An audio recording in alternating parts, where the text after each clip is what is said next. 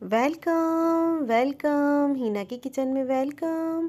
मेरे प्यारे प्यारे व्यूवर्स को मेरा प्यार भरा सलाम। आज हम बनाएँगे आलू अंडे के बहुत ही टेस्टी कबाब। आलू अंडे के बहुत ही मज़ेदार ये कबाब बनकर तैयार होते हैं।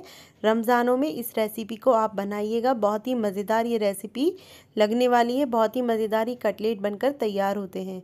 तो चलिए बनाना स्टार्ट करते हैं। आलू अंडे के कबाब बनाने के लिए हमने यहाँ पर हाफ़ के जी आलू लिए हैं, जिनको हमने बॉईल करके छील लिया है और ये हमने यहाँ पर ठंडे आलू लिए हैं। आलू को छीलने के बाद दो घंटे के लिए हमने फ्रीज में रख दिया था, जिससे बहुत अच्छे से ठंडे हो गए हैं।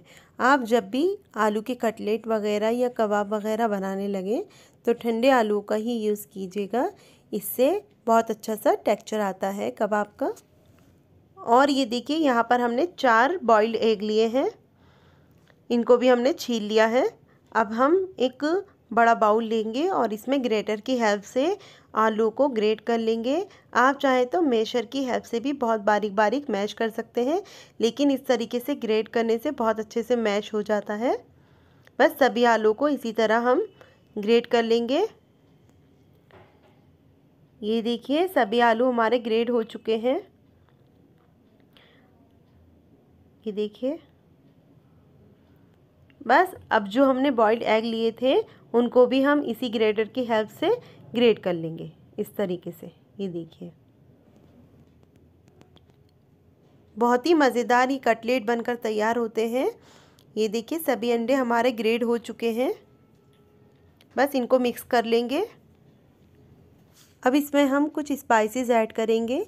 ये देखिए, यहाँ पर हमारे पास कुछ स्पाइसेस हैं, जिसमें वन टीस्पून कुटी लाल मिर्च वन टीस्पून पिसी हुई लाल मिर्च हाफ़ टी स्पून हल्दी पाउडर वन टीस्पून नमक और half teaspoon garam masala powder half teaspoon ज़ीरा पाउडर ये सब ऐड कर देंगे इसमें। बस ये देखिए, यहाँ पर एक इंच अदरक का टुकड़ा है हमारे पास, चार पाँच हरी मिर्च है और एक बड़े साइज़ की प्याज है। इसको एक मिक्सी का ग्राइंडर जार में डालकर रफली चॉप कर लेंगे। कट करके इसमें ऐड कर लेंगे। अदरक के टुकड़ों को भी हम छोटा छोटा कट करके इसमें ऐड कर देंगे और प्याज को भी। बस, जार को कवर करेंगे और मिक्सी को हम कुछ सेकंड के लिए चलाएँगे। बहुत ज़्यादा मिक्सी को नहीं चलाएगा बस हमें दो सेकंड के लिए चलानी है और ये हमारा रफली चॉप हो जाएगा इस तरीके से। बस आलू में इसको भी ऐड कर देंगे। और इसी के साथ यहाँ पर ऐड करेंगे हम हरा धनिया चॉप किया हुआ। ये टू टेबल स्पून के करीब हरा धनिया है, चॉप किया हुआ, इसको भी ऐड कर देंगे। और सभी को अच्छे से मिक्स कर लेंगे। बहुत अच्छे से हमें मिक्स करना है, ताकि सभी मसाले, प्याज, अंडा सब एक साथ आलूओं में बहुत अच्छे से मिक्स हो जाए। बस ये देखिए, सभी मसाले अच्छे से आलू में मिक्स हो चुके हैं। अब इसमें ऐड करेंगे हम two tablespoon cornflour one tablespoon अब इसके बाद वन टेबल स्पून और ऐड करेंगे। यहाँ पर हमने टू टेबल स्पून कॉर्नफ्लोर और टू टेबल स्पून चावल का आटा ऐड करना है। इससे हमारे कबाब बहुत क्रिस्पी बनकर तैयार होंगे और बहुत ही मज़ेदार बनकर तैयार होंगे। बस इनको भी हम इसी तरीके से एक साथ मिक्स कर लेंगे, ये देखिए। बहुत अच्छे से मिक्स हो चुका है। अब हम क्या करेंगे? थोड़े थोड़े पोर्शन लेंगे इसके और इनको इस तरीके से कबाब की शेप देंगे। आप जिस शेप में चाहें इस तरीके से आलू के कबाब बनाकर तैयार कर सकते हैं। हम यहाँ पर बिल्कुल इसी तरीके से शेप दे रहे हैं शामी कबाब वाली।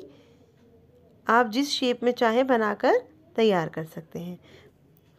बस इसी तरीके से हम सभी कबाब बनाकर तैयार कर लेंगे। बहुत ही मज़ेदार ये आलू के कबाब बनकर तैयार होते हैं। इस रमज़ानों में आप ज़रूर बनाइएगा। बहुत ही मज़ा आने वाला है इनको खाने के बाद। ये देखिए, सभी कबाब हमारे बनकर तैयार हो चुके हैं। बस ये देखिए, एक पैन में हमने ऑयल गर्म होने के लिए रख दिया था। ऑयल गर्म हो चुका है। अब सभी कबाबों को हम इस तरीके से फ्राई कर लेंगे। बहुत आराम से आप कबाबों को रखिएगा। ऑयल अच्छा गर्म होना चाहिए, बहुत हल्के गर्म ऑयल में ये आप कबाब मत डालिएगा, वरना ये टूट जाएँगे। बस जब एक साइड से हमारे कबाब लाइट गोल्डन हो जाएँगे, तब हम इनकी साइड चेंज करके दूसरी साइड से फ्राई करेंगे। बीच में हमें इन्हें पलटना नहीं है। ये देखिए, नीचे से हमारे कबाब गोल्डन गोल्डन दिखाई देने लगे हैं। तब हम इनको इस तरीके से पलट देंगे। ये देखिए, बहुत अच्छा सा कलर आया है हमारे कबाबों का इस तरीके से। ये देखिए, दूसरी साइड से भी कबाब फ्राई हो चुके हैं, गोल्डन हो चुके हैं। अब हम इनको निकाल लेंगे इस तरह से। बहुत ही डिलीशियस ये कबाब बनकर तैयार होते हैं। एक बार आप ज़रूर ट्राई कीजिएगा और मुझे कमेंट सेशन में बताइएगा आपको कैसे लगे ये कबाब। बस सभी कबाबों को हम इस तरीके से फ्राई कर लेंगे। आलू अंडे के ये कबाब बहुत ही आसानी से बनकर तैयार हो जाते हैं। एक बार आप ज़रूर ट्राई कीजिएगा और अपने एक्सपीरियंस मेरे साथ ज़रूर शेयर कीजिएगा। और अगर आपको मेरे आलू अंडे के कबाब की रेसिपी अच्छी लगे तो प्लीज़ लाइक ज़रूर कीजिएगा, अपनी फैमिली फ्रेंड के साथ ज़रूर शेयर कीजिएगा। बस डिश आउट करते हैं और आपको दिखाते हैं। ये देखिए सुपर टेस्टी आलू अंडे के कबाब बनकर तैयार है। कैसी लगी आपको मेरी रेसिपी?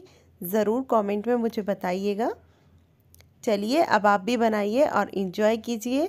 फिर मिलती हूँ ऐसे ही सिंपल आसान और मज़ेदार सी रेसिपी के साथ। तब तक अपना ख्याल रखिएगा, दुआओं में याद रखिएगा। अल्लाह हाफिज़।